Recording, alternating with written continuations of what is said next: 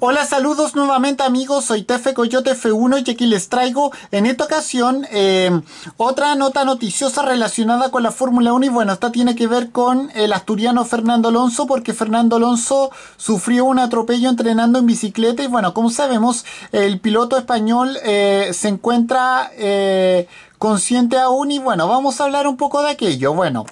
como sabemos, como sabemos, Alpine F1 Team confirmó la noticia llegada desde Italia porque el asturiano Fernando Alonso sufrió un atropello mientras eh, eh, entrenaba en bicicleta eh, cerca de su hogar en Suiza y bueno, en un comunicado emitido para la por la estructura francesa para que el corredor español va a pilotar en este año 2021, Alpine aclara que el piloto asturiano está consciente y se encuentra en buen estado, permaneciendo en el hospital hasta mañana por la mañana cuando se realicen las pruebas en las que se pueda descartar cualquier tipo de fractura o fisura en algún hueso. Bueno,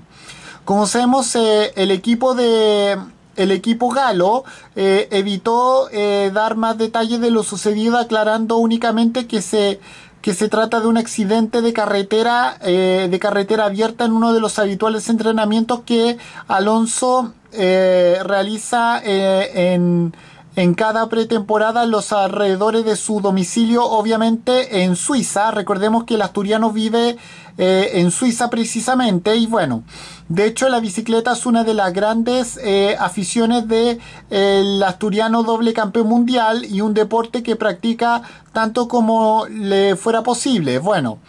la pretemporada de Fórmula 1 tendrá lugar entre los días 12, 12 eh, y 14 de marzo, apenas eh, un mes después, habiendo tiempo suficiente por delante para afrontar cualquier tipo de recuperación, especialmente tal y como dice Alpine, el piloto asturiano se encuentra bien. Bueno, eh, Alpine avisa que no, va, no van a haber más eh, comunicados oficiales eh, al respecto hasta el día de mañana, una vez se conozcan los resultados de pruebas del piloto español. Si bien, si bien el equipo ha tenido que reaccionar por los rumores venidos desde Italia, Alonso no se pronunció a través de sus cuentas de redes sociales y bueno, con esto me despido, adiós, que me fuera, chao.